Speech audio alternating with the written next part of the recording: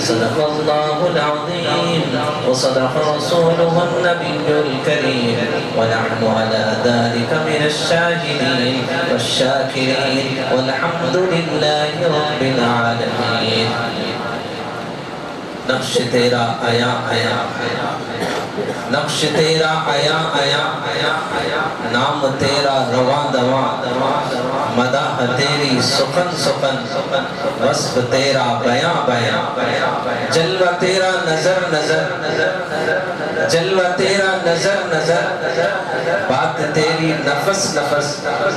बात तेरी तहन ज़िक्र तेरा जबा जबा, तेरी दमक किरण किरण, तेरी जिया चमन चमन, तेरी महक समन समन, तेरा करम जहाँ जहाँ। काम मेरा खता खता, काम मेरा खता खता, शान तेरी अता अता। मेरे खुदा, करम करम, मेरे करीम, अमा अमा। मुझे हैरत है कि तेरा किस तरह इनकार करते हैं लोग। मुझे हैरत है कि तेरा किस तरह इनकार करते हैं। जिधर देखो, जहाँ देखो, वहीं जलवा नुमा तू है। जहाँ पे ज़िक्र हो, जहाँ पे ज़िक्र हो, उनका ज़रूर आओ। जहाँ पे ज़िक्र हो, उनका, वहाँ ज़रूर आओ। मिले जो फूल गुलजारे नबी के, उनको चुन लाओ। उन्हीं की काली कमली में शिफाए रूह है हामिद। हकीकी ज़िंदगी चाहो तो कमली से निपट जाओ। इससे पहले कि कुछ न कुशाई करो, बारगाह खुदाबंदी में चंद अशार हम जबारी ताला के पेश करता हूँ। समाध फरमाए।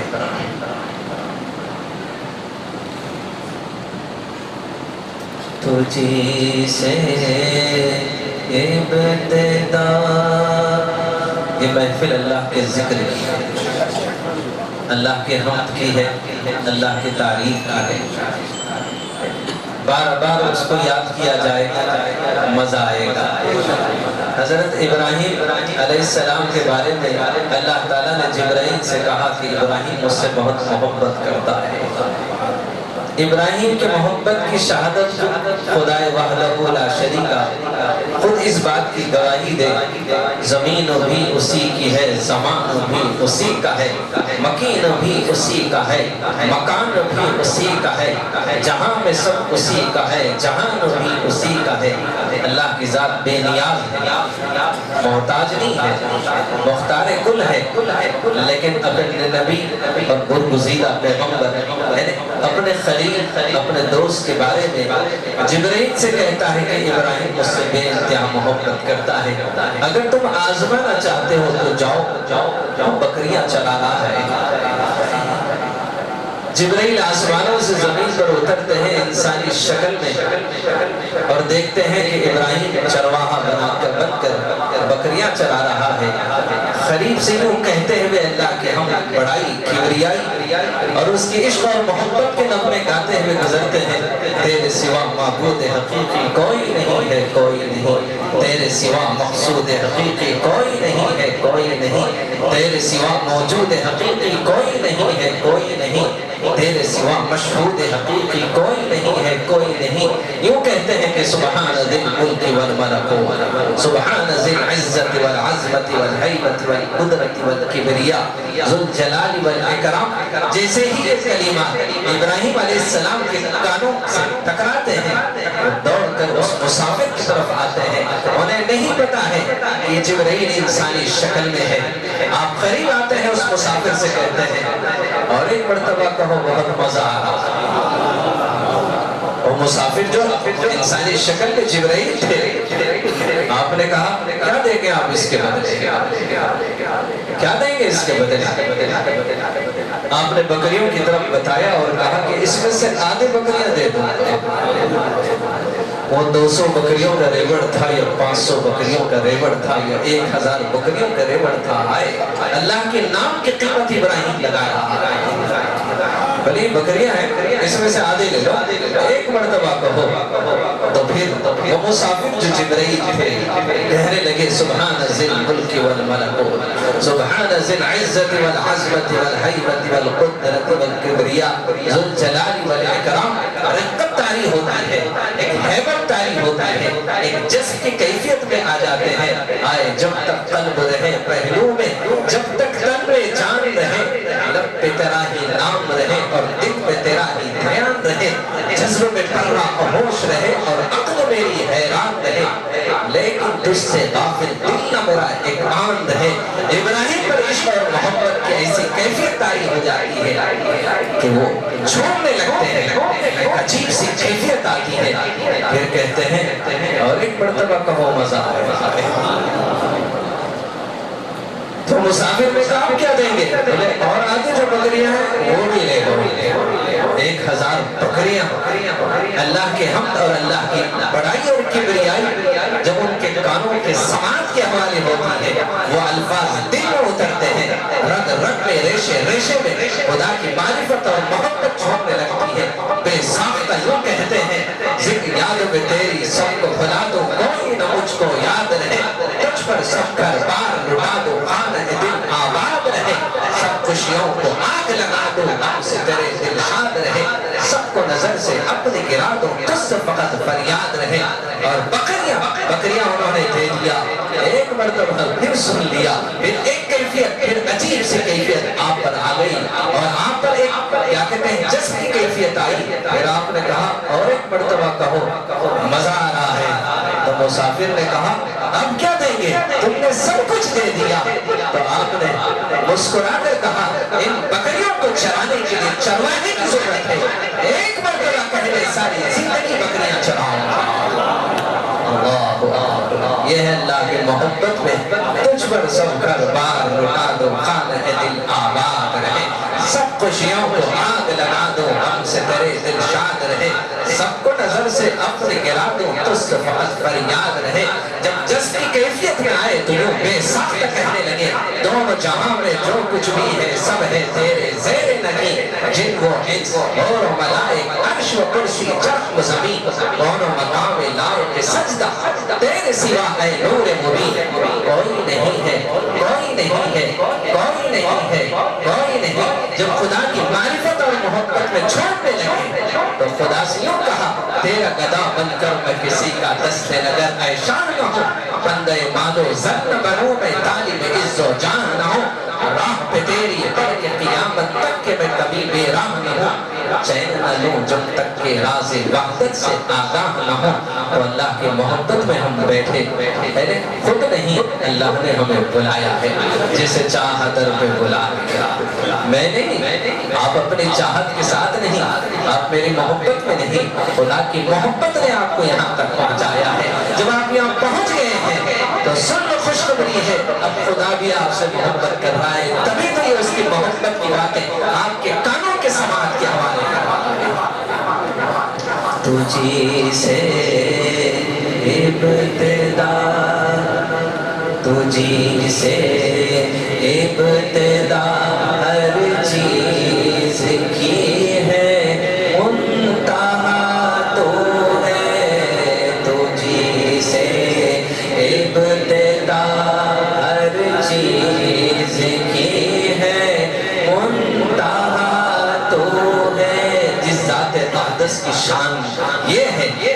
उसकी कोई इब्तदा है, न उस जात अकदस की कोई इंतहा है। उसकी रहमत की न कोई इब्तदा है, न उसकी रहमत की कोई इंतहा है, न उसकी मोहब्बत की कोई इब्तदा है, न उसकी मोहब्बत की कोई इंतहा है। ऐसे जात अकदस से मोहब्बत करके देख लो अंधेरियों में नूर की हज़ार किरण पाएगा। तो रुक किस्मत कर चले तो दौड़ कर वो आएगा। तेरी हर एक आरज़ू करम से बर वो लाएगा जब उसकी मोहब्बत आ जाएगी तो रोना तो एक मामूली मर्ज है। इससे खतरनाक भी अगर बीमारियाँ आएगी तो तब भी आप अल्लाह की मोहब्बत में झूम उठेंगे और यूँ कहेंगे मुझको सरापा ज़िक्र बना दे, ज़िक्र तेरा है मेरे खुदा। बहरहाल, अल्लाह की मोहब्बत और मारिफत, ये हमारी महफिल का मकसद है। तुझी से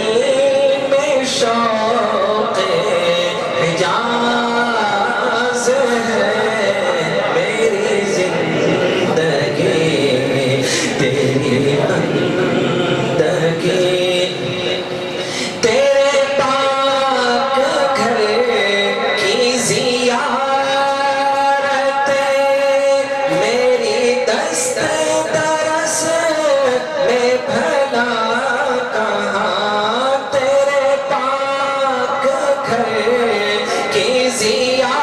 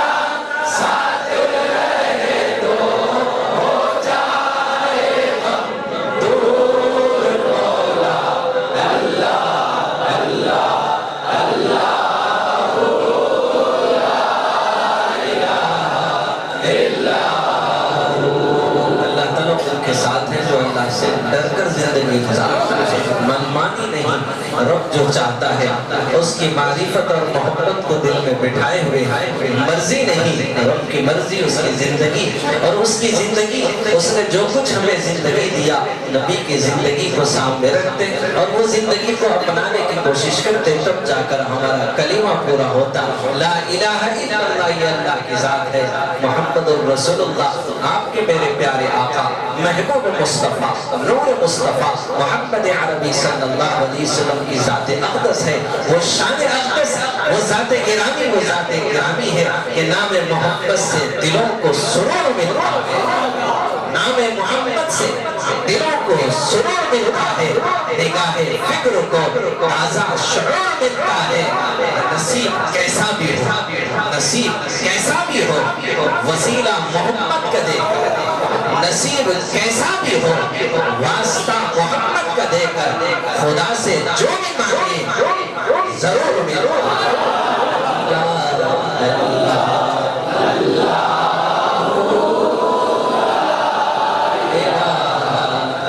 वो मेरे समझ में ना समझ ये अल्लाह ताला की क्या कहते हैं? रहमतें हैं, अल्लाह ताला की मोहब्बतें हैं। तो कहने का ये है कि अपने इलाज के लिए चले आना मेरा इलाज करने की जहमत ना करना मैं मरीज़ इश्क रसूल वो अभी वो मेरा है मुझे भी कभी कभी कोई दर्द होता है, कोई दुख होता है, कोई तकलीफ़ होती है सीधा अपने अपने रुख को महबूब मुस्तफ़ा की तरफ़ करता हूँ।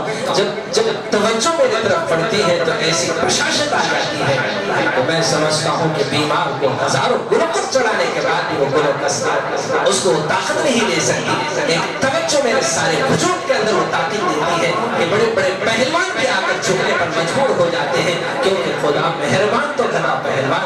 उसकी मेहरबानी की है। ये अता किया है। खुदा ने वो देकर खड़ा किया है, जहाँ आकर लोगों की अखले दम हो जाती और आने वाले से बेइंतहा मोहब्बत करता हूँ और यही कहता हूँ, जिधर देखो, जहाँ देखो, वहीं जलवा नुमा हर एक के चेहरे में खुदा नज़र आता है। ये खुद नहीं, मेरे आने वालों पर नज़र नहीं, भेजने वाले पर मेरी हमेशा नज़र होती है। ये खुद नहीं, इनको किसने भेजा? उसको मेरे अल्लाह ने भेजा, जिसकी मोहब्बत मेरी ज़िंदगी की सुबह है, मेरी ज़िंदगी की शाम है। अल्लाह की याद, अल्लाह की मौत हर दम ज़िक्र और फ़िक्र में तेरे मस्त रहूँ सरशार रहूँ। होश रहे ना मुझको किसी पर, तेरा मगर होशियार फिर आओ हारून रशीद हारून रशीद ने अपनी बीवी की तरफ़ देखा। आप कहेंगे हारून रशीद जितना बड़ा बादशाह है, इसका किस्सा भी इतनी दूर से आ जल्दी जल्दी बोले तो कम से कम जहन में तो बैठ जाएगा। किस्सा आखिर है क्या? मैंने बोला, आखिर होने वाला क्या है? हारून रशीद ने ऐसे देखा और बीवी से कहा तो बीवी ने खुश होकर कहा, शान से भी मैं हसीन हूँ तो हारून रशीद गुस्से में आया। देखा और उसके बाद कहने लगा तुम चाँद से भी ज़्यादा हसीन है। अब कुरान से प्रूफ ला, वरना तेरे तीन तलाक। तीन तलाक। अब कुरान से प्रूफ लाए तो इनकी तलाक नहीं होती। अगर नहीं मिला तो तीन तलाक। एक शख्स ने अपने बीवी से पानी लगाया और जब बीवी पानी लाने में देर की तो गुस्से में आ गया। जज्बात से बेकाबू हुआ और कहने लगा, पानी पी तो तीन तलाक, पानी फेंकी तो तीन तलाक। अब कहीं भी रखी गिरा तो तीन तलाक पड़ जाते कोई भी बच्चा आके पी गया तो भी तलाक पड़ जाते अभी परेशान हो गए अब इन्हें बोल दिया पी तो तीन तलाक फेंकी तो तीन तलाक हम क्या करना? क्या करना ऐसे ही गिलास ले अबू हनीफा के पास आई और कही कि अजीब मसला हो गया मेरे साथ। वो बोलने को बोल दिया परेशान हो रहा है अब करें क्या? तो इमाम अबू हनीफा रहमतुल्लाह ने उस खातून को अपने करीब बुलाया, मलमल का कपड़ा लिया, उस गिलास में डुबाया, धूप में सुखाया, गिलास में डुबाया, धूप में सुखाया, जब सारा पानी खुश्क हो गया, आपने कहा, जाति को तलाक नहीं पड़ी। कभी कभी ऐसे बेखूब मर्द तलाके दे देते हैं तो लमाए कराम तलाक और उन मसलों का हल भी निकाल देते हैं। ये मसला ये मसला। तब हारून रशीद बोल दिया कि कुरान से अब प्रूफ लाहू तो चाँद से भी ज़्यादा हँसी है वतन के अंदर बोलने को बोल दिया। एक साहब ने कहा सर गुस्से में बोला आदमी तो गुस्से में तक बोलता, खुशी में खुद अरे तो गुस्से को अपने काबू में रखना है। दिमाग तलाक बोल दिया। अब क्या करेंगे वापिस आएँगे क्या इस बात को पसंद करेंगे? अब तुम्हारी शरीर की ज़िंदगी किसी और के पहलू में सो फिर उसके बाद उसके बाद वो किसी वजह से तलाक दे तब फिर दोबारा तुम्हारे निकाह में आ सकती है। एक पल भी एक नज़र में तुम्हारी शरीर की ज़िंदगी की तरफ़ कोई देख ले, तुम्हारी हया इस बात की इजाज़त नहीं देती तो तलाक देने से पहले सोच लिया करो। जब तुम तलाक दोगे कि किसी और के पहलू में सो ये सारी ज़िंदगी यूँ ही आहों में क्या कहते हैं गुजार देगी और उसकी सारी क्या कहते हैं हसरतें जो क्या कहते हैं आहें तेरी सारी ज़िंदगी को तड़पा के रखेगी हारून रशीद, तीन तलाक तो दे दिया, परेशान हो गया, पूरे शहर के उलमा को बुलाया। बादशाह वक्त आधी दुनिया पर हुकूमत करता था बड़े बड़े उलमा को बुलाया और बोला और गुस्से में ऐसा तलाक बोल दिया, कुरान में कोई दलील है? तो बोले लेके कुरान में कहाँ से आए थे? इनकी आपकी बीवी चाँद से ज़्यादा हसीन है? परेशान हो गया हैरान हो गया। अब अकल उसकी क्या कहते हैं? हैरान हो गई, परेशान हो गया कि मैं इतना जज्बाती क्यों हो गया? बोली थी तो बोली थी। मैं एकदम क्या कहते हैं, ऐसा बोला कि तू चाँद से ज़्यादा हसीन है तो कुरान से दलील ला वरना तेरे तीन तरह अब सहमा हुआ है डरा हुआ है। अब सारे उलमा को बुलाया है, किसी के पास इसका जवाब नहीं है। जुबैदा बैठे बैठे सोचने लगी, जो मर्ज की दवा कहीं नहीं मिलती, वो दवा पीर के पास मिलती है। चलो अपने पीर के पास जाऊँगी और जाकर अपने गम को थोड़ा हल्का करूँगी। शायद इस जख्म का कोई मरहम मेरे पीर के पास मिल जाए। हाँ, जब पीर भी खुदा बनाता है कहीं वो मरहम नहीं उन्हीं के पास वो जख्म का मरहम मिलता है। वो सुकून माँ के जो आंचल में मिलता है वो तालीम याफ्ता काबिल पढ़ी लिखी खातून भी अगर तुम आपको डोर में ले ले तब भी माँ भले ही काली करोड़ी क्यों ना हो लगती चपटी क्यों ना हो, अनपढ़ और जाहिल क्यों ना हो, जो लाल को माँ के आगोश में सुकून मिलता है, वो सुकून तालीम याफ्ता काबिल औरत में नहीं मिलता। कुछ लोग कहते हैं हाफिज साहब के पास कहीं गुजारे नहीं है। क्या पढ़े हुए बहुत बड़े मौलाना है उनके पास, चलो। मैं बोलता दो तीन मरतबा गया, जो सुकून हाफिज साहब के पास मिल रहा था, वो सुकून कहीं और नहीं मिल रहा था, क्योंकि मेरे नसीब को अल्लाह ने हाफिज साहब से जोड़ दिया। मेरे किस्मत को अल्लाह ने हाफिज साथ जोड़ दिया अब इसी अपने पीर मुर्शिद के पास गई। और हारून रशीद वो बहलूल दाना से हमेशा नाराज़ रहता कहता था जो पागल है, दीवाना है। क्या इसके पीछे पड़ी रहती है? क्या कामों का के पीछे पड़े रहती है? एक दिन क्या कहते हैं हारून रशीद, जुबैदा दोनों टहलते टहलते दरिया दजरा के करीब पहुँचे तो देखा कि बहलूल दाना पलटी के छोटे छोटे घर बना रहे हैं। छोटे छोटे घर बना रहे हैं। तो जुबैदा करीब पहुँची और कही कि पीर मुर्शिद क्या कर रहे हो? तो मैंने जन्नत में घर बना रहा हूँ। जो ये मेरा घर खरीदेगा, मैं दुआ करूँगा कि अल्लाह ताला जन्नत में उसका घर बनाए। छोटे से तख्ते पर छोटे छोटे घर बना के रख रहे थे। छोटे छोटे घर बना रहे थे, रख रहे थे। तो जुबैदा करीब गए और कहने लगी एक घर मेरे को भी दे दो। बोले, कितने पैसे? पैसे पैसे बोले, पचास दे रहा इतने सस्ते। कहने लगे पीर मुर्शिद मेरे पास पैसे तो नहीं क्यों जेवर ले भाई बादशाह है वक्त है। मलिका के जिसम पर जितना जेवर था वो निकाल के पीर के कदमों में रखती है और कहीं के घर मुझे दे दो। और दुआ कर देना कि अल्लाह जन्नत में मेरा घर बना दे। ये ईमान में यकीन जवाब के अंदर आ जाए तो ज़रूर तुम्हारा घर भी ज़रूर जन्नत बना सब कुछ दे दिया। हज़रत ने हाथ उठाया, दुआ किया। हारून रशीद कहने लगा अच्छा पीर दिख रहा है। लुट लिया सारा जेवर मेरी बीवी का। चलो लूट लिया तो बेगम को पिना दे। या भेज कर इसकी क्या कहते हैं, ज़िंदगी का सामान बना दे। हज़रत ने जैसी जेवर जुबेदा के हवाले से लिया, वो सारा जेवर दरिया में फैला गया और परेशानी मैं तो समझा कि बटोरने के लिए ऐसा किया। ये तो बेनियाज भी करा है जेवरों से। जेवर को फेंक दिया। लेकिन जुबैदा ने बड़ी शान के साथ वो मकान लिया और चलने लगी। रास्ते पर हारून रशीद कहने लगा, जुबैदा, वो पागल है, दीवाना है। कम से कम जेवर इतना कीमती था बीवी को पहना देता या बेच कर अपनी अपनी नए ज़िंदगी गुजार लेता, फेंक दिया पागल दिख रहा है तो सुबेदा कोई जवाब नहीं देता, क्योंकि अपने पिए के इश्क और मोहब्बत में डूबी हुई थी। क्योंकि उसको यकीन आ गया, मैंने जो कुछ दिया, बहुत थोड़ा दिया, मुझे जो दिया वो कायनात की सबसे कीमती चीज़ मुझे क्योंकि मेरे पीर ने मेरे लिए दुआ कर दिया, ज़रूर मेरा जन्नत में उस छोटे से मकान को अपने हाथ में लिया और चलने लगी। जब घर पहुँची तो गुलदस्ते निकालती और शोकेस को मकान रखती। हारून रशीद बीवी से मोहब्बत करता, जवाब कुछ नहीं दिया। वैसे हर मर्द अपनी बीवी से मोहब्बत करता है और मोहब्बत करने वाले कभी एतराज़ नहीं करते हैं। जान दो, बेचारी भोजी भागी है चल चल जाता कोई बात समझ रही नहीं समझ रही। नहीं देखो खुदा ने जो समझ दिया, उसको थोड़ी समझ दिया। उसको खुदा ने वो समझ से महरूम किया है। जो समझ खुदा ने तुझे दिया है, उसको समझाने की कोशिश न कर। जितना समझ गई, अपने नसीब पर खुश हो जा। ना समझे तो सबर कर लिए तेरे इम्तिहान जन्नत में जाने। क्या बनाओ ना इस साल? दो करके इतना सुकून से बैठे चली माशा सारे ही सुख साहब तो ये ये क्या कहते हैं? ये मामला है। तो ज़ाहिर बात है, समझ में ना आए, आप इतने समझ में आ जाए कि खुदा ने जो अकल और फहम तुम्हें दिया है, खुदा ने उसको अकल और फहम से महरूम किया तुमको हाकिम बनाया है, उसको तेरा महकूम बनाया है। जो करती है सब्र के साथ तहमुल के साथ, क्या हैं? उसे बर्दाश्त कर लो, सब्र कर लो, इसी का नाम ज़िंदगी है हारून रशीद खामोश रहा। रात में जब सोया तो ख्वाब में देखता है कि जन्नत में खूबसूरत महल बना है। और उस महल पे लिखा है जुबेदा। काम हो गया। लियाटी जुबेदा को लग गई। मैं खामोखा की क्या कहते मैं भी एक रहे था।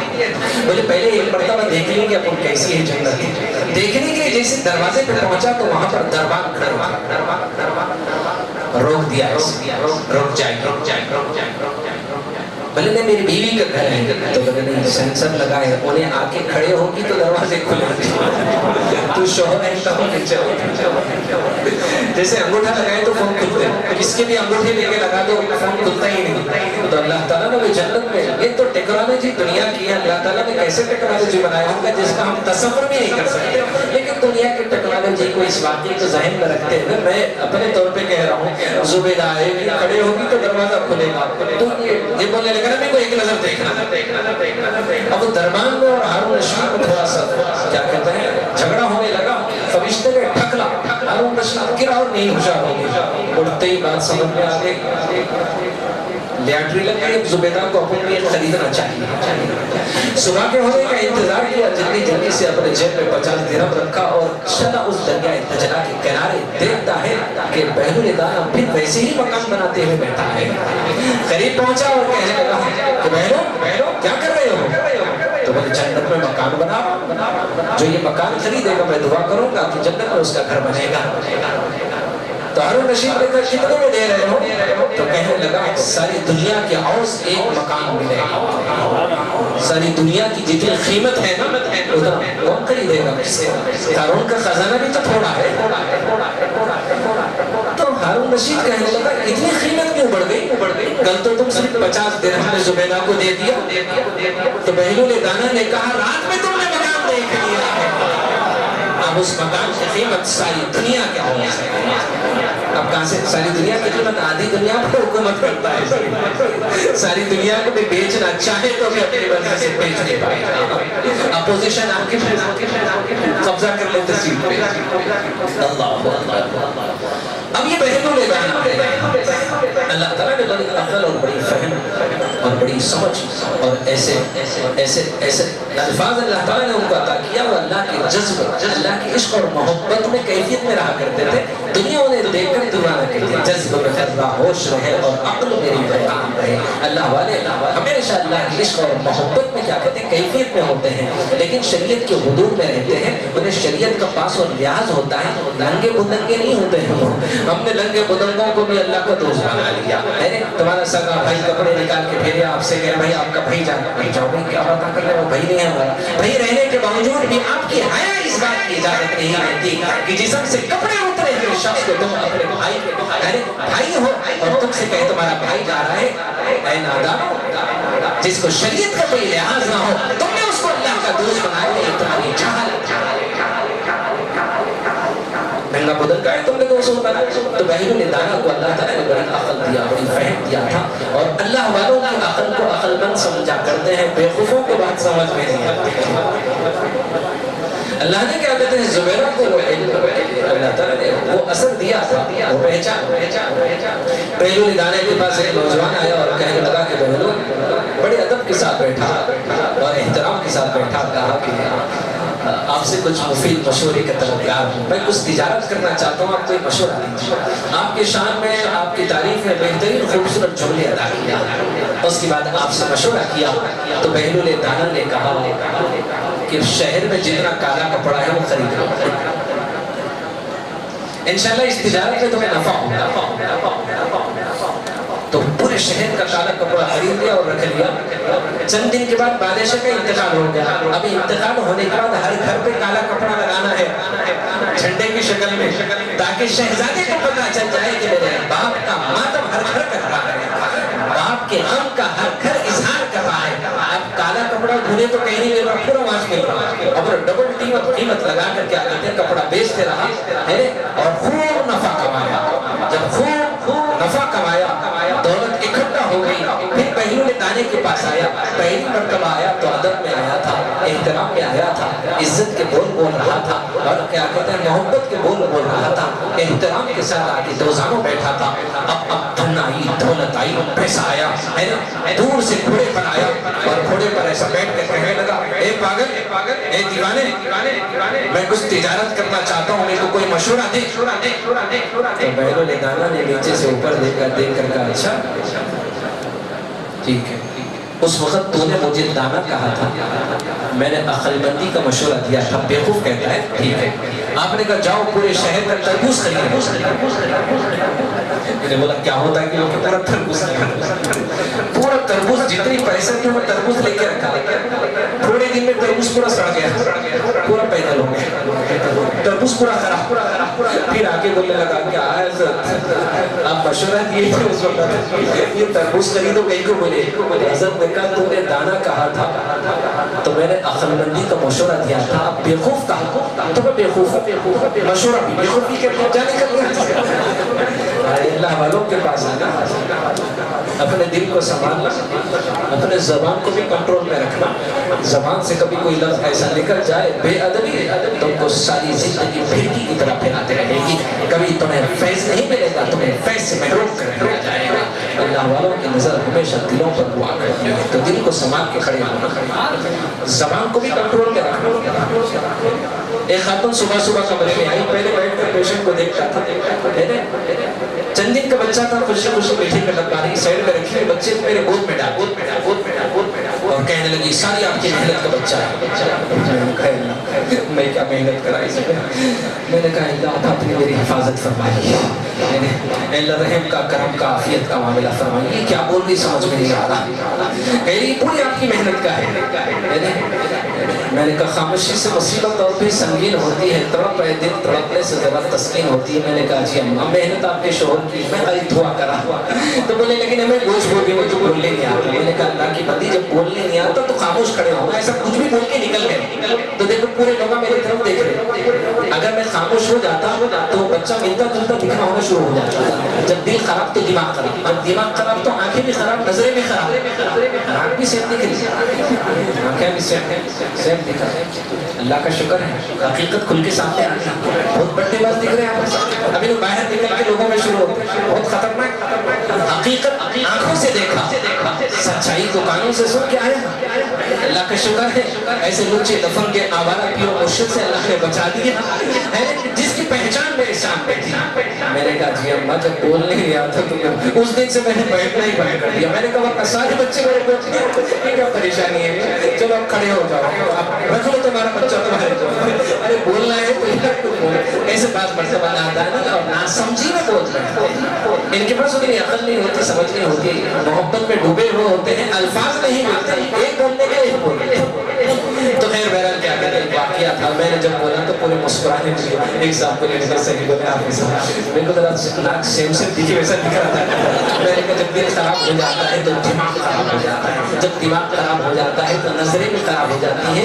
जब दिल खराब होता है तो खामियाँ तलाश करता है। जब दिल साफ़ होता है तो खूबियों को है। इसलिए अल्लाह के नबी सल्लल्लाहु अलैहि वसल्लम ने फरमाया, तुम्हारे जिस्म में गोश्त का लोट रहा है जब वो संवर जाता है तो सारा जिस्म संवर जाता है। जब बिगड़ जाता है तो सारा जिस्म बिगड़ जाता है। सहाबा ने पूछा, वो कौन सी शय है? तो आपने फरमाया, वो तुम्हारा दिल है।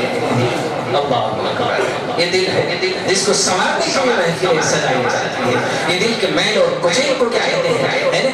है ना और बगैर किसी क्या कहते हैं, पैसों के क्या कहते हैं, आपके दिलों को साफ़ करने के लिए वॉशिंग मशीन है। है जो आपके खुलूब को साफ़ करने के लिए गरीब ने वॉशिंग मशीन यहाँ रखा है खुलूब की सफ़ाई होती है, जहनों की सफ़ाई होती है। ख्यालात की सफ़ाई होती है, अंदाज बदल जाते हैं, रफ्तार बदल जाते हैं, आदात बदल जाते हैं अखबार बदल जाते हैं, अखलाक बदल जाते हैं, किरदार बदल जाते हैं। आए वो अखलाक ज़िंदगी जो महबूब मुस्तफ़ा की ज़िंदगी है, वो सीरत मुस्तफ़ा की ज़िंदगी में मुंतकिल करने की फ़िक्र, ये तड़प रखते हुए अल्लाह ने यहाँ बिठाया है। नवाइज हो मुबल्लिग हो कतीब हो बस ने अपने फजल से आपका खादिम बनाकर यहाँ बिठा दिया। तो बहरहाल क्या कहते हैं? कहने का मतलब ये है कि आदमी कुछ और बोलना चाहता है और उसके जबान से कुछ और निकलता है। तो हर नशीब कहेंगे इतनी कीमत क्या है? तो रात में तुमने मकान देख लिया है।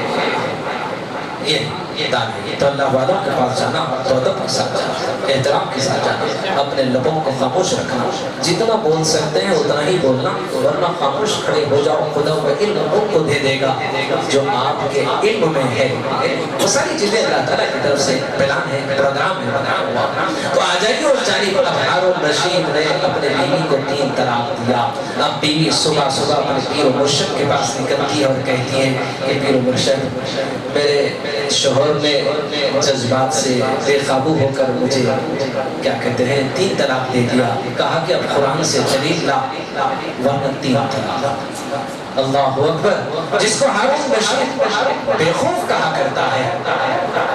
और जुबैदा उसकी वो मुर्शिद पर फरिश्ता है, क्योंकि अल्लाह की मारिफत और अनवार वो बरकत की तजल्लियात महसूस करती है। जो मिलता है पीर के दामन से मिलता है। तो हज़रत ने वाक़ सुना और सुनकर कहा कि जाओ तुम पर तराफ नहीं पड़ी, कुरान में दलील मौजूद है, तुम चाँद से ज़्यादा हसी बस इतना कहने पर जुबैदा घर आई, और हारून रशीद से कहा कि मेरे पीर मुर्शिद के पास वो जख्म का मरहम बिल चुका है, वो तरफ़ की तबाह में गई तो बोले, क्या बोले? बोले, कल सुबह में आ रहा हूँ, और बता दूँगा कि तू चाँद से ज़्यादा हसीन है, मेरे पास इसकी दलील मौजूद है। हारून रशीद ने कहा कि बड़े बड़े ओलामा और खुतबा और बड़े बड़े वाइजिन मुबल्लिगीन खतीबीन और बड़े बड़े क्या कहते हैं, मुफस्सिरीन, मुहद्दिसीन ने इसका जवाब नहीं दिया। लेकिन अब बीमार को दवा चाहिए। बड़े से बड़े मैं बोलने वाले भी लेकिन आके बैठते जो कल तक किसी का मज़ाक उड़ाते थे। सलामकुम खैरियत, की खुद बोलते थे आगे नहीं बोलना मैं, किसका भी मज़ाक नहीं उड़ाता कैसा बैठे आगे अरे मेरे भाई गलत फहमी तो गलत फहमी में किसी को मुझे क्यों बनाते हो? किसी पे इल्ज़ाम क्यों रखते हो? किसी के ताल्लुक से गलत फहमी अपने जहन में पाल कर किसी से बदगुमान क्यों घुमाते हो? कहाँ जा रहे नहीं हाफिज अरे क्या है? नहीं, हमारे सब बेवकूफ़ बनाते हैं उल्लू घुमाते हो। फिर तुम भी बेवकूफ़ बनने के लिए आगे, बेवकूफ़ के पास नहीं, पता चल गया कि अब ये जख्म का मरहम पूरे शहर में कहीं नहीं है। अब लोगों ने पता किया है, अगर तुम को इस जख्म का मरहम चाहते हो तो जाओ हाफिज साहब के पास बेहतरीन मरहम मिलता है। लाखों लोग इस बात शहादत देते हैं। कि हाफिज साहब का लगाया हुआ मरहम जख्म बड़े बड़े अरे कईयों सालों के पुराने जख्मों को भी देता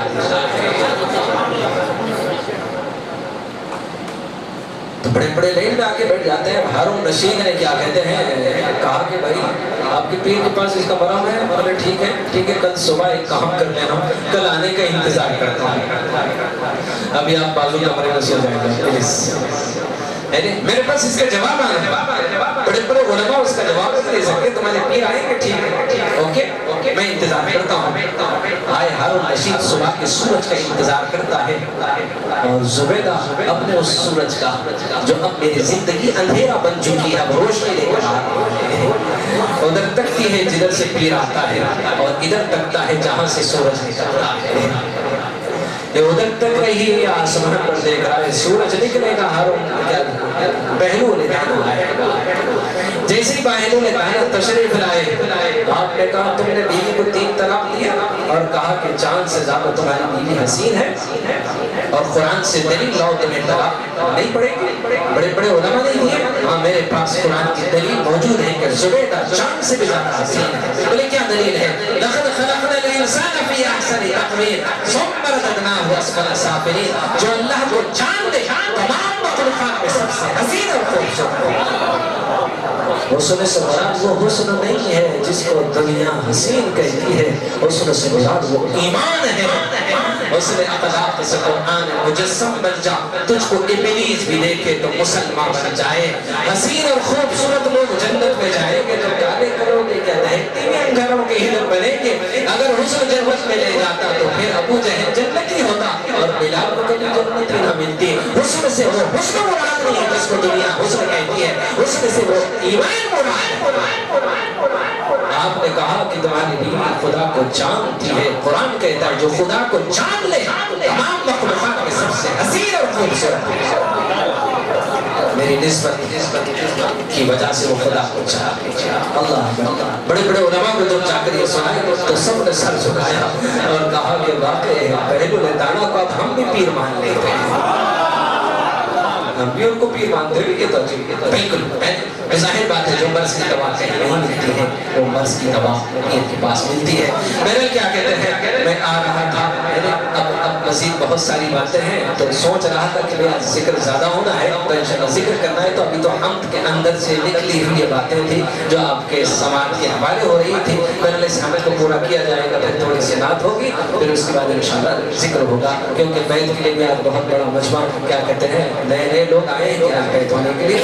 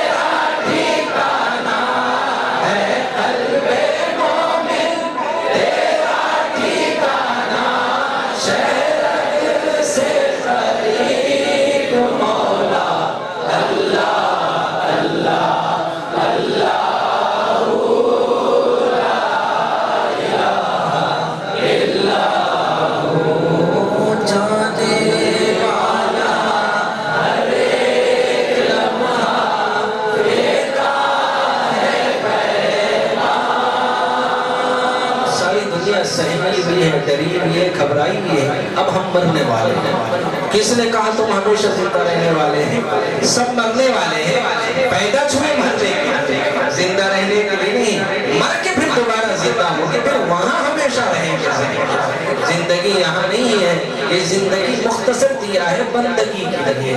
ये ज़िंदगी दिया है, आजमाइश और इम्तिहान है। इम्तिहान गाह है ये दुनिया। यानी आराम गाह नहीं है, ये स्टेशन है। जो अपना सामान उठाकर ट्रेन के मुसाफिर बनकर हमें मंजिल पर पहुँचे चार आदमी के सहारे कंधों पर हमें जाना है कब्रिस्तान। मरना सबको है करोना से नहीं, मौत है, जो अल्लाह की तरफ़ से एक मुकद्दर लिखी हुई है। सबको आने वाली है। आगाह अपने मौत से कोई बशर नहीं। सामान सौ बरस का है, पल की खबर नहीं। तो हर मौत के आगोश में सोने वाला, हर उठता हुआ जनाजा, जाते हुए जो पैगाम दे रहा क्या दे रहा जाने वाला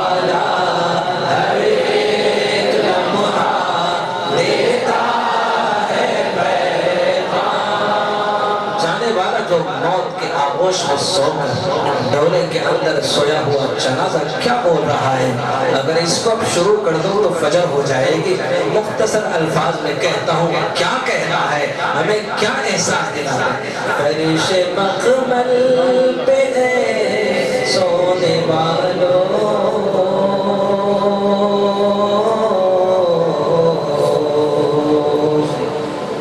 कब्र में जाके सोना हदीस में है कि हर एक की खबर रोज़ाना आवाज़ देकर कहती है। जहाँ में जो खबर है, वो खबर मुझे आवाज़ देती है। मैं अंधेरे का घर हूँ, अपने साथ कोई रोशनी ले आना। मैं तन्हाई का घर हूँ, अपने साथ कोई एक साथी ले आना। घर में एक माँ को चार बच्चे होते हैं, उसमें से एक बच्चा ऑफ़िस से आने में देर हो जाए तो एक कमरे से वो कमरे में, कभी हाथ से बाहर कभी बाहर से अंदर टहलती है, बेचैन, बेकरार होती है, उसे सुकून नहीं मिलता। जब तक कि उसका लाल वो चौथा बेटा घर में ना आ जाए, वहाँ पर ना चार बेटे होंगे, ना बेटियाँ होंगे, ना आगे कोई होगा, ना दाएँ कोई होगा, ना बाएँ कोई होगा, ना क्या कहते हैं, न कहीं न ऊपर कोई होगा, न नीचे कोई होगा, बस तन है तनहा खबर में जाकर हमें सोना है। और हर खबर हमसे कहती है कि मैं तन्हाई का घर हूँ, अपने साथ किसी साथी को आना कोई तैयार होता है कितना ही मोहब्बत और प्यार करने वाली बीवी क्यों ना हो? मर जाए तो चंद दिन मातम करेंगे, उसके बाद आँसू भी उसके थम जाएँगे। फिर मरने वालों को कोई याद नहीं किया करता है लेकिन मर गए मर गए तो अपने साथ किसी साथी को ले आना। और साथी कौन होगा? कौन आपके साथ आएगा?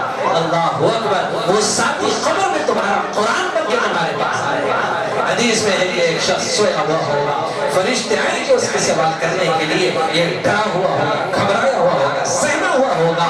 यानी अब ये तन्हाई और वहशत उसे हो रही होगी। न नानी है, न नाना है, न दादी है, न दादा है, और न रिश्ते हैं, न नाते हैं, न भाई है, न दोस्त अहबाब है, जहाँ पर सब कुछ रहने के बावजूद भी कोई चीज़ उसे गुमसुम किया करती थी। अब वो वहशत ना खबर है, जहाँ पर तना सोया है।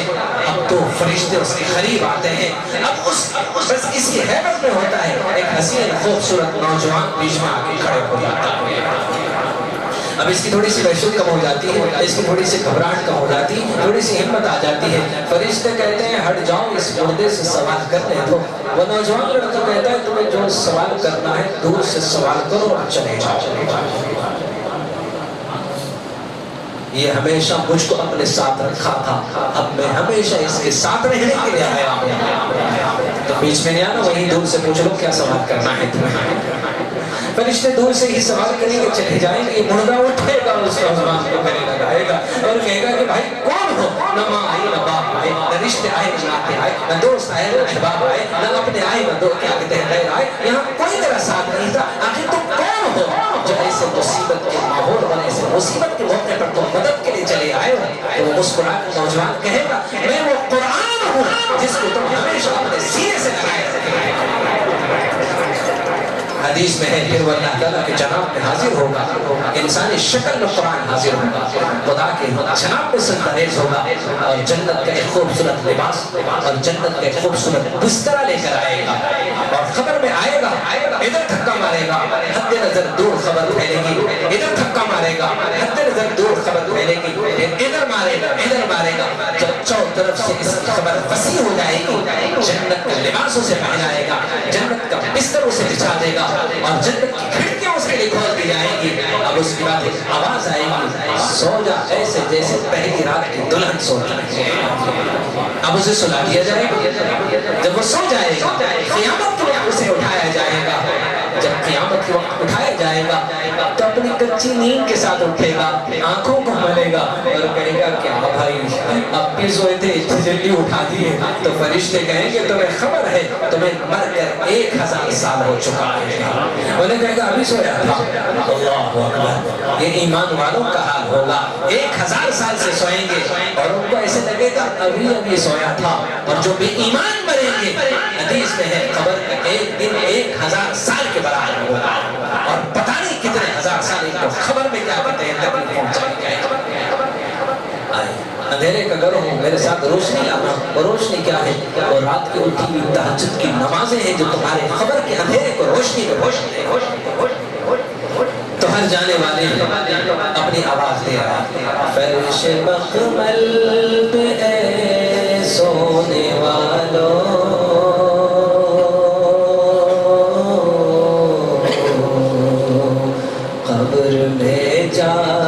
सोना पड़ेगा।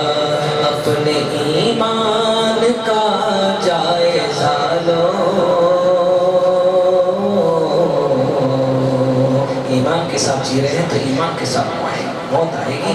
बेईमानी की ज़िंदगी जी रहे हैं तो फिर सोच लो, बेईमानी की मौत आएगी और फिर बेईमानी के साथ खबर से उठाए जाएँगे। फिर खुदा का कहर होगा, दहकते हुए अंगारे। हमारा क्या हैं? लग जाएगा अपने ईमान का जायजा लो महफिल में आए सबको एहसास हो रहा है कि हम कितने पानी में हमारे पास कितना ईमान है? यहाँ बैठे हैं। हमको आखिरत याद आ रही है। यहाँ से जाते हैं, फिर दुनिया की घुमा में मसरूफ होकर हमारे दिल में कुचेल हो जाते हैं। फिर हाफिज साहब की मोहब्बत पर कुर्बान जाए। हर हफ़्ता फिर वो कुलूब को धोने के लिए फिर बुला लेते हैं। फिर आने के लिए क्यों डरते हैं? कौन सी छिपा छिपी आपको इन महफिलों में आने से रोक अपने ईमान का जायजा लो।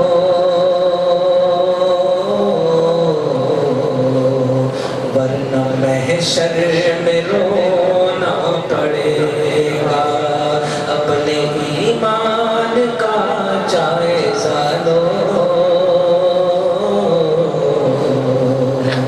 वरना महशर में रोना पड़ेगा।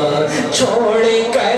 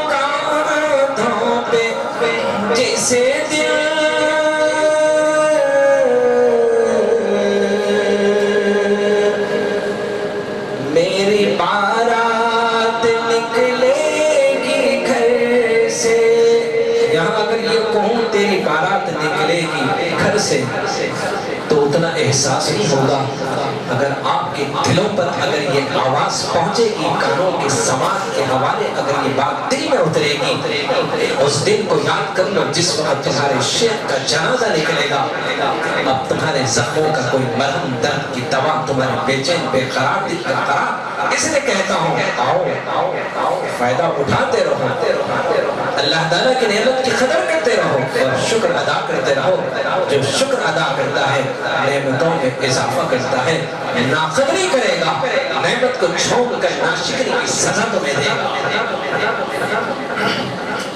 तो बात तो बात समझ में उस वक्त आएगी जब कहूँगा, मेरा जवाब चार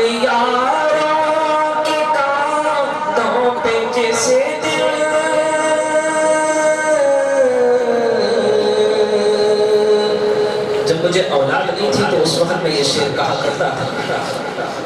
हमारे रहेगा इस चमन में बहुत जला जलाओगे रोशनी के लेकिन जब बच्चा दुनिया में आया तो एक उम्मीद की किरण इसके आँखों के सामने आई। अल्लाह से दुआ किया कि अल्लाह, ये फैजान क़यामत तक के लिए मेरे नस्लों के अंदर मुंतकी कर दे, ताकि ये खलकत क्या कहते हैं?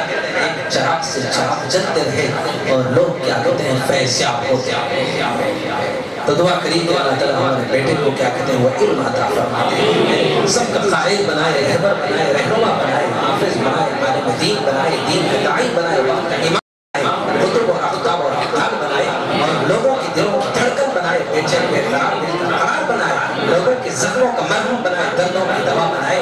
ये एक बेटा नहीं, जितने यहाँ बैठे हैं, सब मेरे बेटे जैसे प्यार सिद्दत से होता है, वैसे ही प्यार आपसे होता है।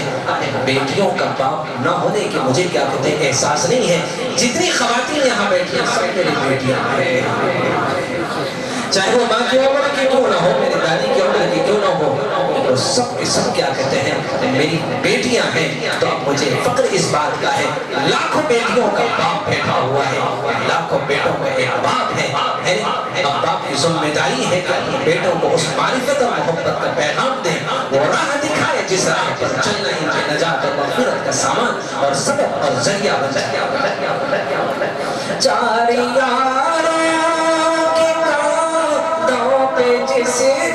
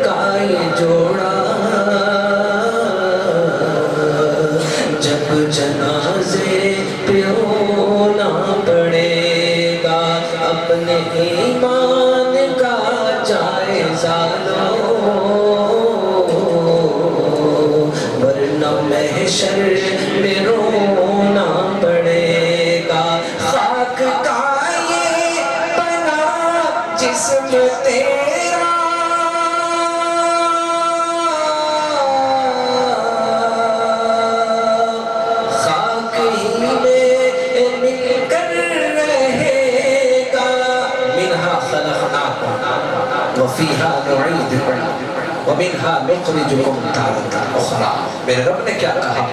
इसी मिट्टी से पैदा किया हूँ। इसी मिट्टी में तुम्हें दफन होगा। दफन किया जाएगा। कल क़ियामत के दिन इसी मिट्टी से तुम्हें उठाया जाएगा।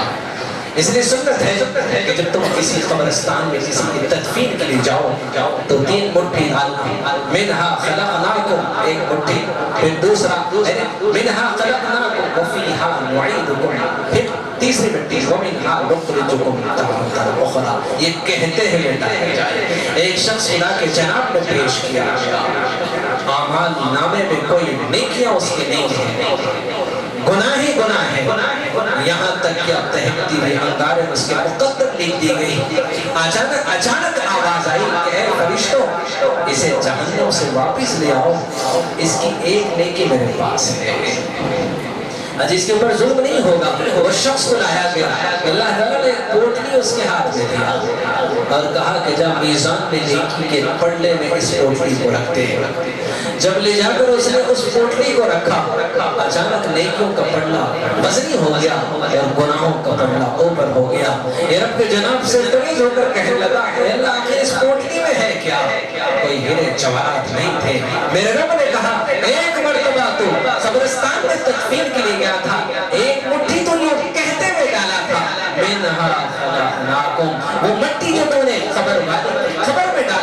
वो मिट्टी उस को मैंने उठा के रख दिया था।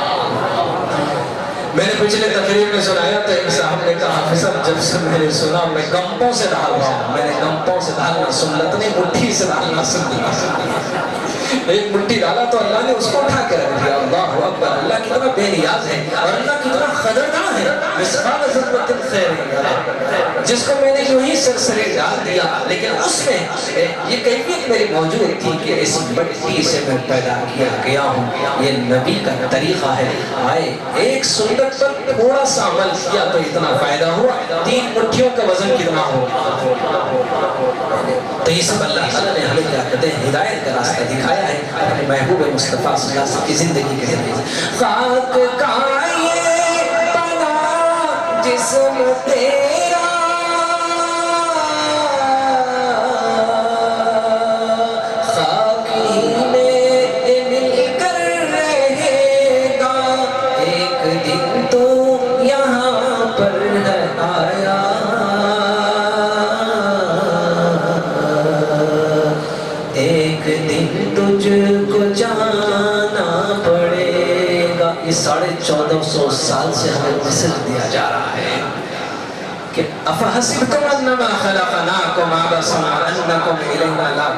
कि क्या तुम्हारा ये गुमान है कि मैं तुम सबको यूँ ही बेकार पैदा किया? नहीं नहीं, तुम सबको मेरे पास लौट कर आना है। एक एक पल का, एक एक सेकंड का हिसाब देना है। जब किसी के घर किसी अमीर घराने की शादी का रुकता आता है, रुकते को सामने रखते हुए घर की खातन तैयारियाँ करती हैं। अजी, बहुत बड़े लोगों का रुख आया, देखो, इतने बड़े लोग अपने को दावत में मिलाए अब देखो, पिलाना शुरू हो गया दो तीन हफ़्ते पहले से क्या पहनना है, क्या पहन के जाना है, क्योंकि बहुत हाई लेवल के लोग हैं। मेरा कोई मसला नहीं, देखो, आप जो बोले वो पहन लेते बड़े लोग आए वो लेवल के पहन के जाना पड़ता ऐसे रुके कभी आ जाए तो छुपा के रख जाएँगे गलती से दे दी तो फिर लो परेशानियाँ आपके साथ आ जाती हैं। पहले वो लेवल के कपड़े खरीदना बड़े तो पहले हालात खराब है फिर वो लेवल के कपड़े खरीदे तो फिर पूरी ज़िंदगी कर्जे अदा करते रहना खैर, मज़ाक कर रहा हूँ, हर तो बोलेंगे पूरी तकरीर अच्छी थी, ये तकरीर को छोड़ तो खैर, माफ़ करते मैं मज़ाक कर रहा हूँ। ऐसे सारे मर्दों को, माशाल्लाह, अपने बीवियों को बेहतरीन गिफ्टा दिलाने का सबक देता रहता हूँ। और माशाल्लाह, तकरीबन खवातीन बोलता है कि जब से आपके सोबत में है माशाल्लाह गिफ्टों पे गिफ्टा अलहमदुल्ला हाफिज साहब मेरे माशाल्लाह बहुत मेहनत तो माशाल्लाह जो मैंने अच्छा सबक सिखाया उस पर बना के ले लो ये तो मैं सिर्फ़ एक नसीहत कह रहा हूँ बात को समझाने तो क्या करें तो अल्लाह ताला ने हमें एक रहमत का रास्ता दिखाया हमें एक मोहब्बत का रास्ता दिखाया हमें हमें वो वो ज़िंदगी दिखाया वो तरीका दिखाया जब हम वो ज़िंदगी में आ जाएँगे तो हमें खुद खुद समझ में आ जाएगा कि हमारे ज़िंदगी का मकसद क्या है तो एक रुखा आता है। बड़े लोगों का होता है, उसकी तैयारी हफ़्ता दो हफ़्ते पहले से की जाती है। आपको पता है, शादी का रुखा आता है, दस दिन पहले, बीस दिन पहले, लेकिन हम सब के हाथों में एक रुखा आया है, साढ़े चौदह सौ साल पहले। क्या रुखा है? हर शख्स को, हर नफ्स को मौत का मज़ा चखना है। और हर एक को मेरे पास लौट कराना है। जब रुखा हमारे पास मौजूद है, कि हम अल्लाह के जनाब में हाजिरी का तस्वर लिए हुए कोई तैयारी कर रहे हैं? कोई तैयारी नहीं है। बस वही तैयारी, वही फ़िक्र, वही गम, वही दुख को लिए हुए ये महफिलें सजाई जाती हैं। हर एतवार चले आना, अपने खलूब की गंदगियों को साफ़ करते हुए, खुदा की मारिफत और मोहब्बत का नूर अपने खलूब में मुंतकिल करना। अल्लाह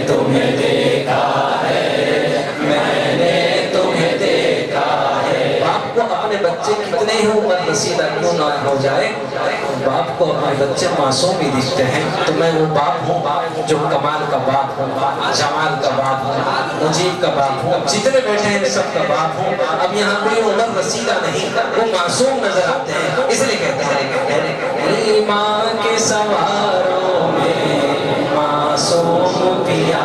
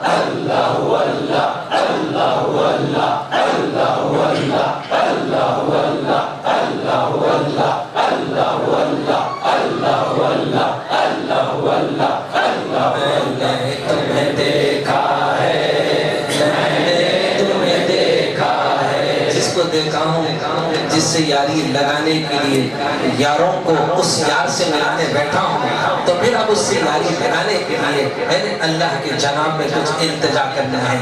अपनी रजा में मुझको मिटा दे।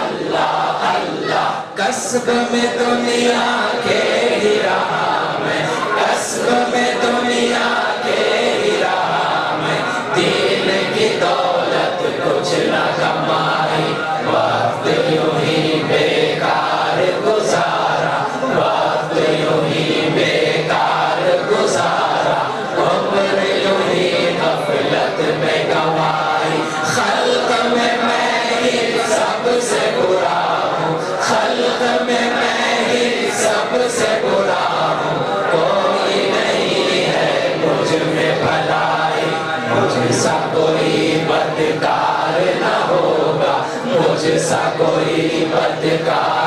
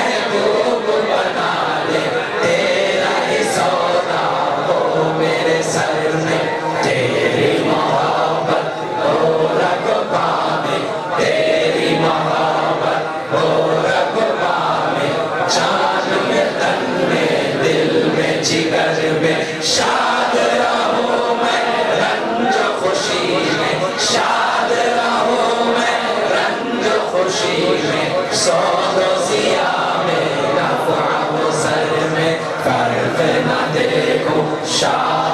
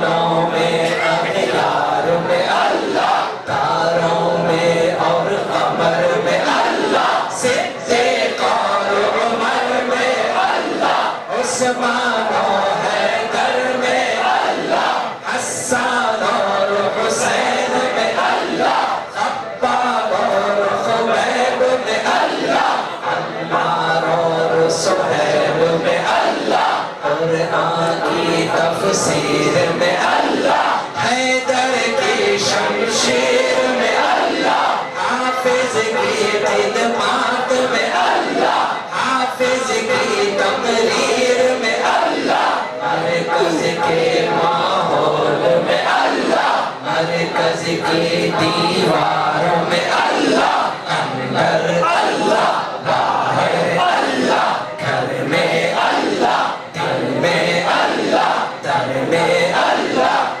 नगर में अल्लाह, नगर में अल्लाह, शजर में अल्लाह, नज़र में अल्लाह, सफ़र में अल्लाह असर में अल्लाह, आगे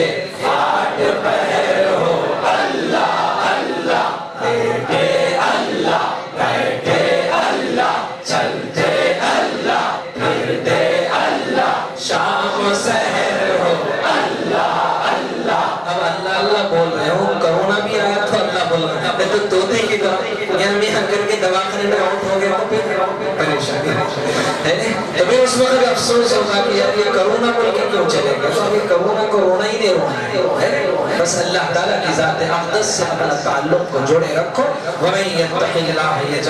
मखरजा जो अल्लाह से डरकर ज़िंदगी गुजारता है, डरो उस जात अक़दस से डरने का हक है। लोग तोहफे तुम्हें क्या देता है? मसाइब मुश्किलात परेशानियों से निकलने के रास्ते दिखाता है। इधर जा, इधर उधर मत जा, उधर लुटेरे बैठे इधर जा, जख्मों का मरहम मिलेगा, दर्दों की दवा मिलेगी। बेचैन का खराब मिलेगा। और तुझे तस्वीर और सुकून का वहाँ सामान लिखा है, जो मुझसे मोहब्बत करते हैं, उनको रहमत के रास्ते दिखाता हूँ। जो मेरे रास्ते को छोड़ देते हैं, उनको लुटेरों के हवाले मेरी नज़र में सब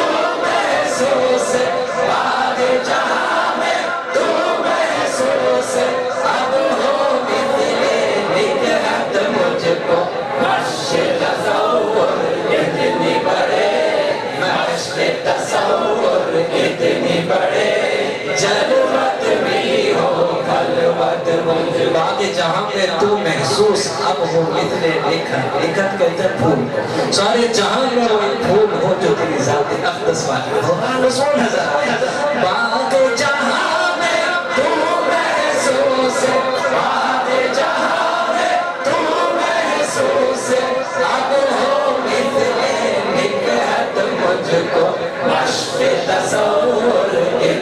बड़े मश्क तसव्वुर इतनी बड़े जलवत भी हो खलवत मुझको कुछ न सुझाई दे मुझे हरगिज़ कुछ न सुझाई दे मुझे हरगिज़ लाखों मंजर पेश निगाह इल्लल्लाह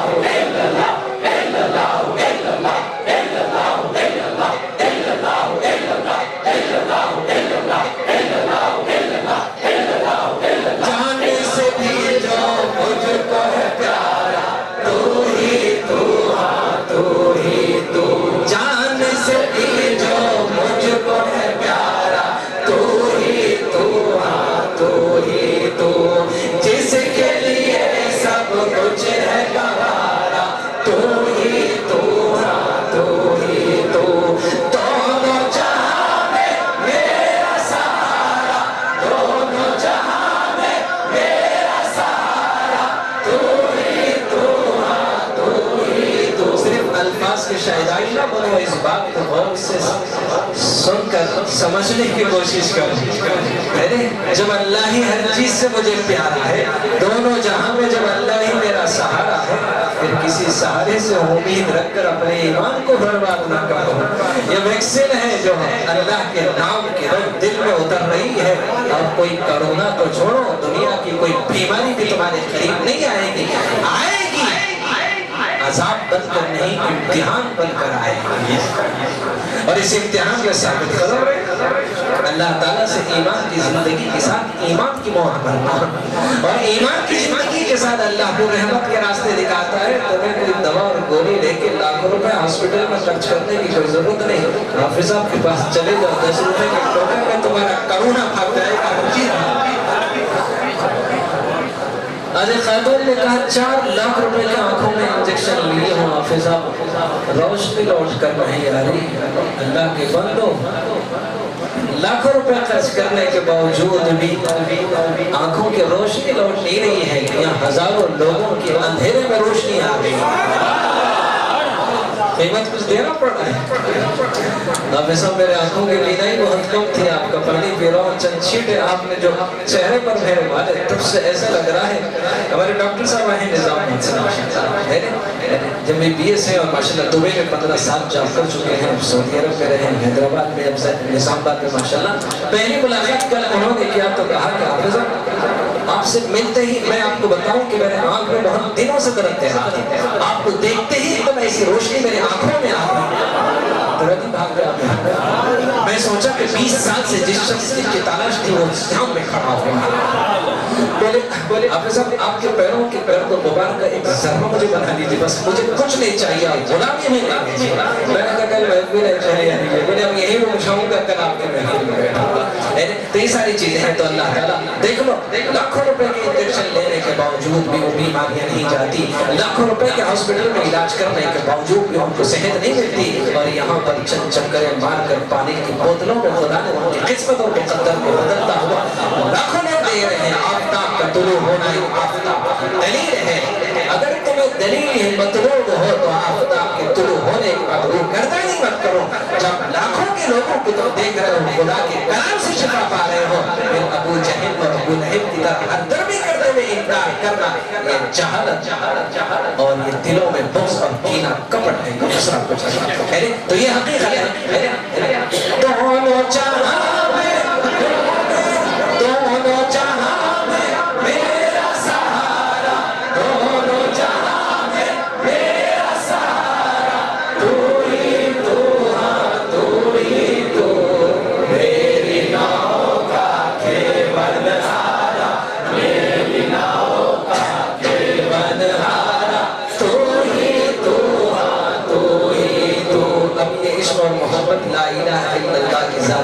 से था। लेकिन कलीमा अभी मुकम्मल नहीं हुआ। मोहम्मद रसूलुल्लाह। अब क्या कहना है? जाने से भी जो मुझको है प्यारा। तू ही, तू हाँ तू ही, तू। जिसके लिए सब कुछ है गवारा। तू ही, तू हाँ तू ही, तू। की मोहम्मद से वफा तूने तो हम दे रहे हैं कि मोहम्मद से वफा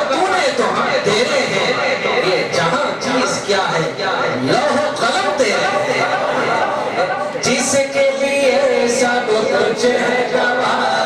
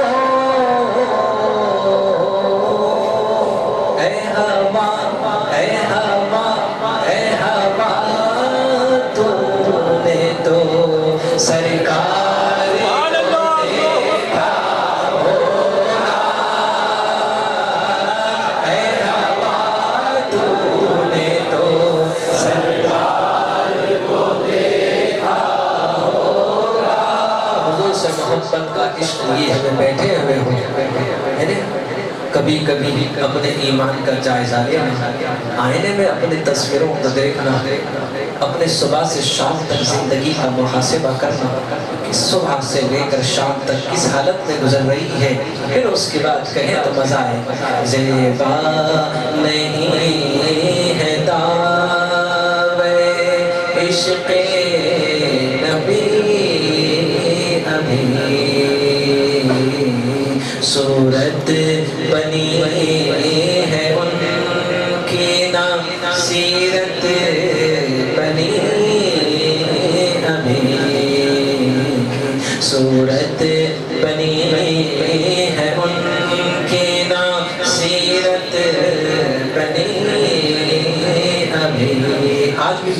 मदीने के रास्ते पर चल पड़ते हैं।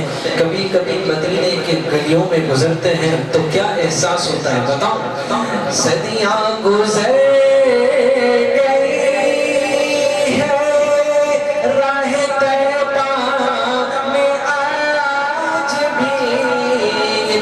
रास्ते का हाल बता रहा हूँ। के कह रहा हूँ। सदियाँ सदियाँ सदियाँ सदियाँ गुजर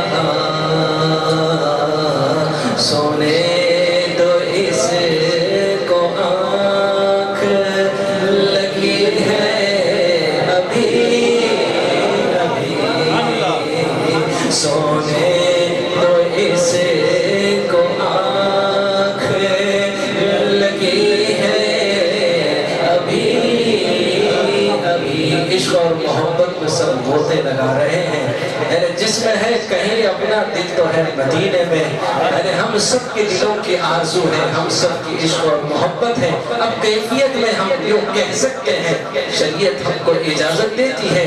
अगर मुफ्तियों से फतवा लेंगे तो कुछ और फतवा पड़ जाएगा। अगर इश्क और मोहब्बत में अगर कह सकते हैं तो इजाज़त है। तशरीफ़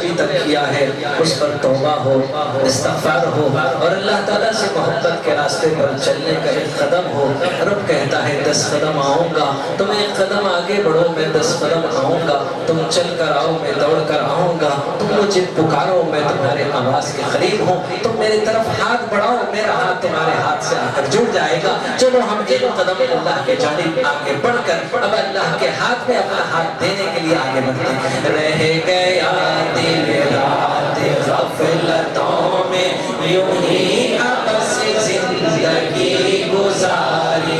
किया न कुछ काम आखिरत का, किया न कुछ काम आखिरत का। कटी गुनाहों में उम्र सारी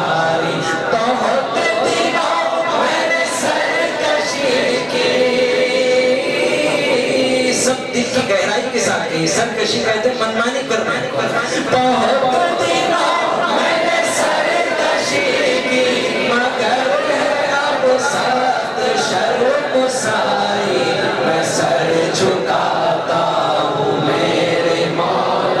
मैं सर झुकाता हूँ मैं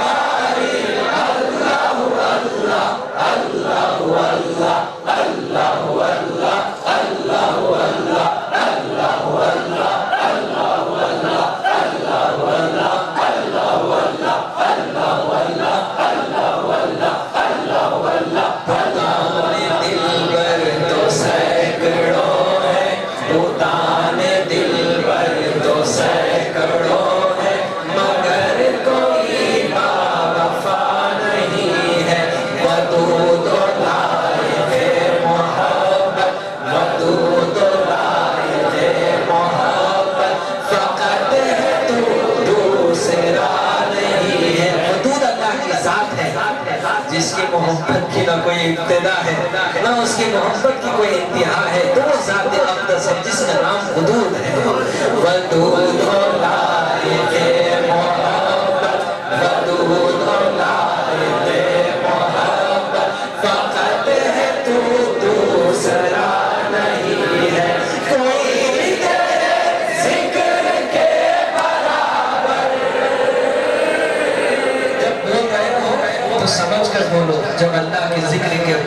कोई जात नहीं है तो फिर हमेशा उसके ज़िक्र की महफिलों में आना है ये अल्लाह ताला की क्या कहते हैं? नेमत है उसकी कदर करना। है कोई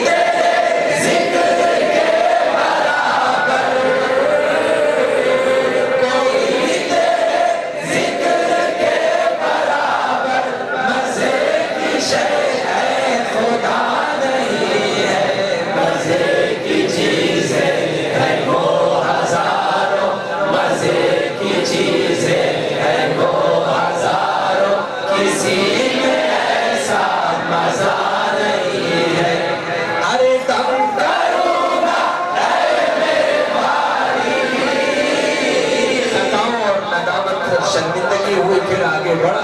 और हाथ मिलाया और कहा कि तोबा करता हूँ।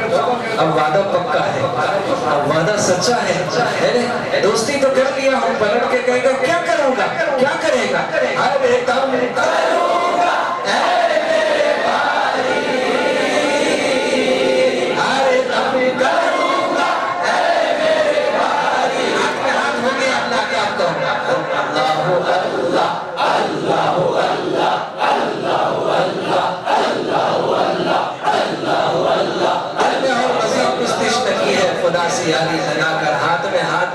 लेकिन फिर हाथ को छोड़कर फिर नदामत के साथ ऐसे हाथ बांधा और आजीजी और इनकिसारी से फिर कहने लगा, बनाऊँगा अपने से सारे वादा है कर रहा अल्लाह करे कि इस वादे में मैं सच्चा और पक्का बनाऊँगा अपने से सरकश बनाऊँगा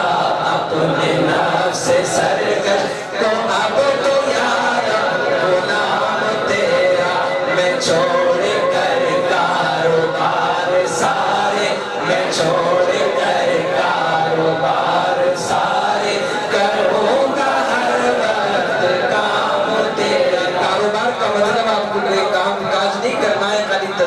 मस्जिद में नहीं नहीं वो कारोबार से तौबा करता हूँ जो कारोबार यानी हराम कारोबार है वो कारोबार करूँगा जो हलाल कारोबार है, किया किया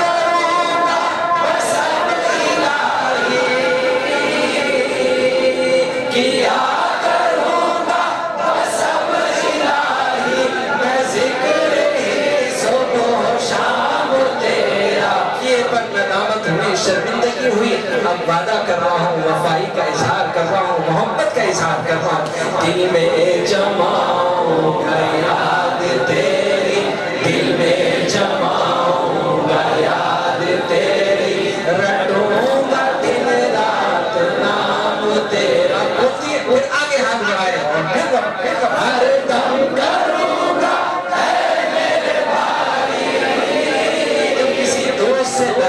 और शर्मिंदगी से मुलाकात करते हो तो हाथ में हाथ मिलाते हो। फिर हाथ छुड़ा कर कहते हो, यार, मुझे बड़ा दुख हो रहा है। मैंने, यार, बहुत दुख पहुँचाया है। मुझे माफ़ कर दो प्लीज़ फिर अपने के ऊपर नदामत होती है। फिर वो यादों को फिर ताज़ा करता है। फिर अपने खताओं पर शर्मिंदा होता है। फिर हाथ में हाथ देकर कहते हो, यार, अब मैं तुम्हारे हाथ में हाथ दिया। अरे, दम करूँगा हर